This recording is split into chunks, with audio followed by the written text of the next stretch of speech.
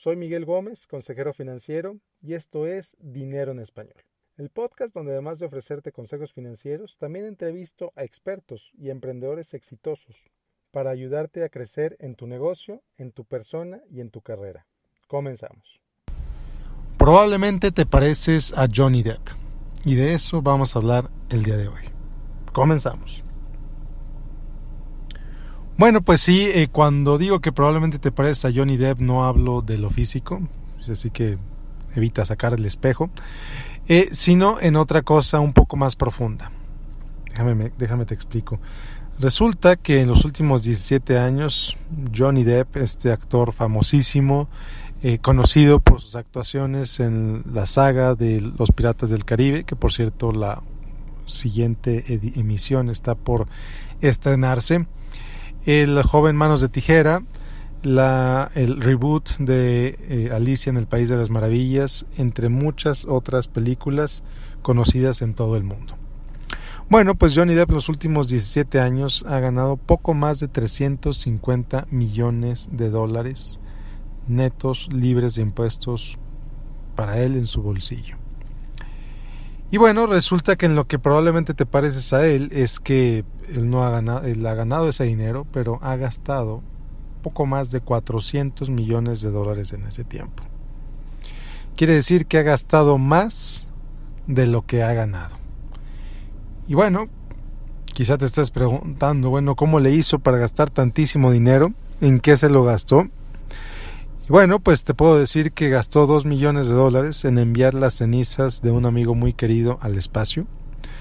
Eh, se dice que gastaba 30 mil dólares al mes en vinos, aparte de gastar eh, cantidades altísimas en viajes, en casas, en experiencias, incluso en seguridad, evidentemente, guardaespaldas y todo lo demás.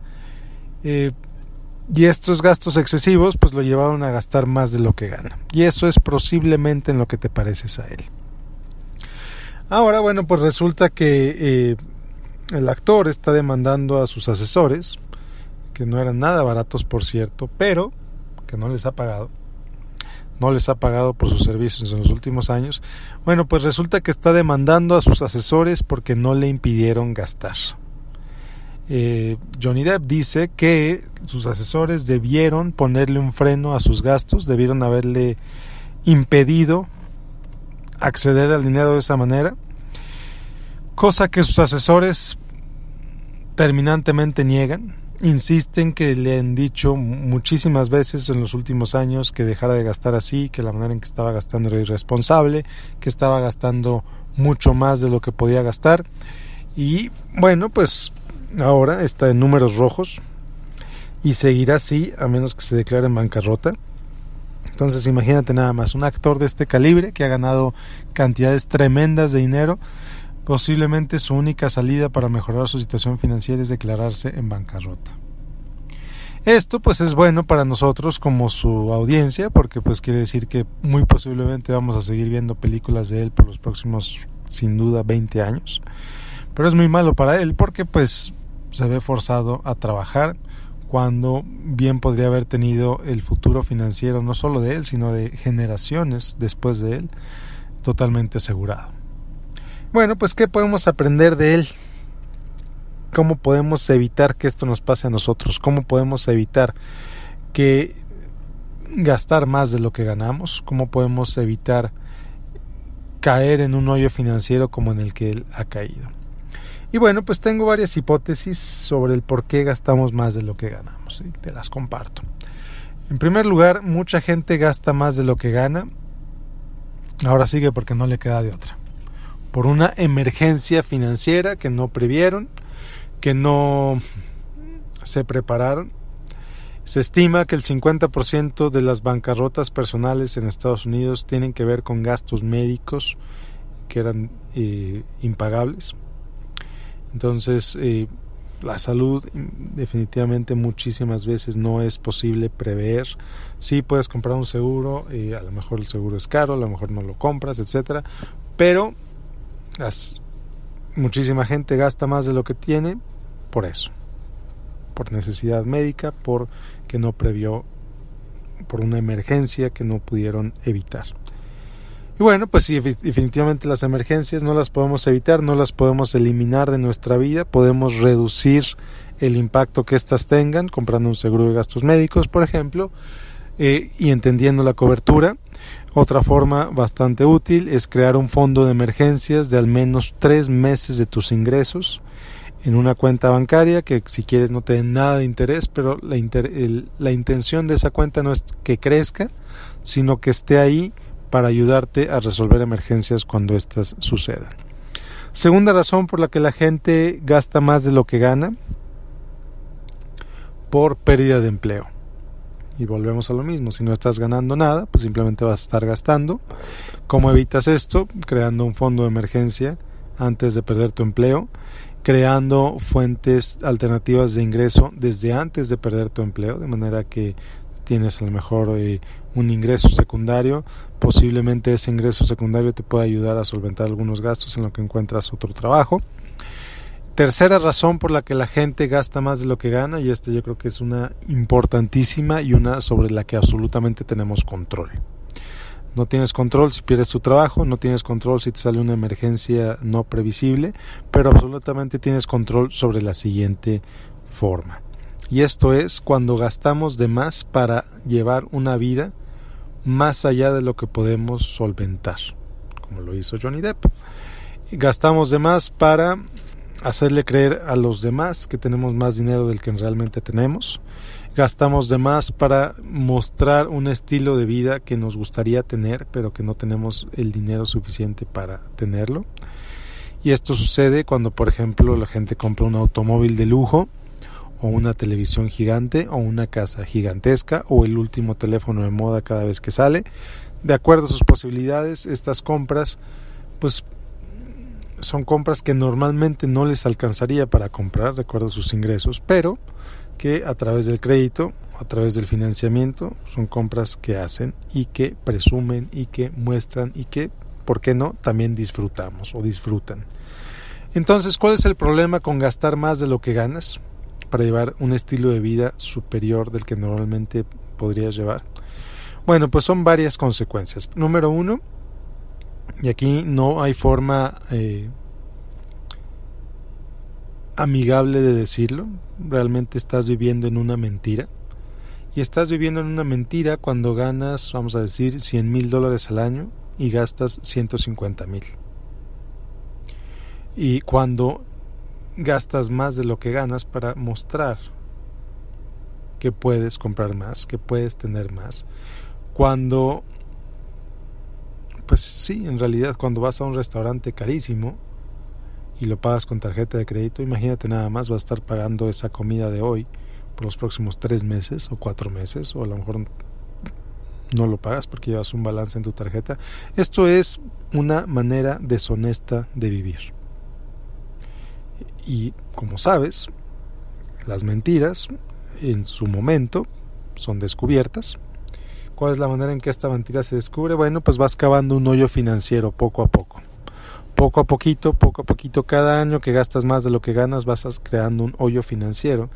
Y va a llegar un momento en el que, tristemente, te vas a dar cuenta que estás tan metido, tan metido en ese hoyo, que no vas a ver la manera de salir.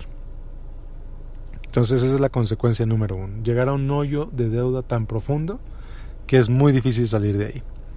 Segunda consecuencia de gastar más de lo que ganas es el estrés. El estrés, la inseguridad, la ansiedad de incluso ir a revisar tu correo y de abrir tus estados de cuenta porque te da miedo saber cuánto debes. Tercer consecuencia, como resultado de las otras dos, pues es una falta de abundancia en tu vida. Como vives en un hoyo tremendo de deuda que cada vez estás más cavando cada vez más profundo, pues vives en un mundo de escasez, en el que cada vez más parte de tu de tus ingresos pues los dedicas a simplemente pagar la deuda. Lo contrario es, bueno, pues ganas gastas menos de lo que ganas, lo que te permite más oportunidades, lo que te permite tomar y aprovechar más oportunidades, hacer más negocios eh, hacer ver más posibilidades en el mundo. Entonces, te invito a que, número uno, no gastes más de lo que ganes. Si quieres llevar ese estilo de vida, si te parece atractivo llevar ese estilo de vida gastando más de lo que ganas, bueno, pues realmente tienes dos opciones. Número uno, seguir cavando ese hoyo de deuda. O número dos, incrementar tus ingresos para que ese estilo de vida eh, de ilusión que llevas ahora, ese estilo de vida falso que llevas ahora, pues realmente lo puedas solventar con tus ingresos. Entonces, ¿quieres gastar más? Pues gana más. Gana más. Si quieres gastar 150 mil dólares al año, gana 150 mil dólares al año. Y esto lo que haces es que pues vives de acuerdo a tu realidad, en lugar de vivir una realidad inventada. ¿Cuál es la otra alternativa? Pues simplemente reducir tus gastos.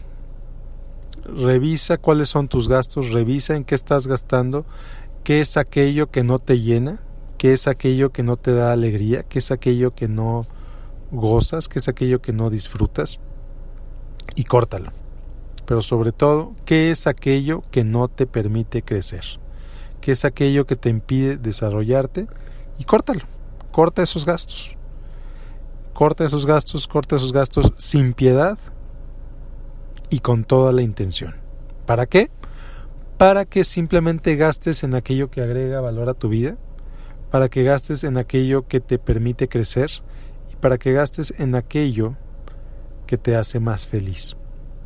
Entonces, eliminando, estoy seguro que si simplemente eliminas los gastos superfluos, si simplemente eliminas los gastos que no agregan a tu vida, si simplemente eliminas eso, estoy seguro que tus gastos y tus ingresos van a ser muy similares.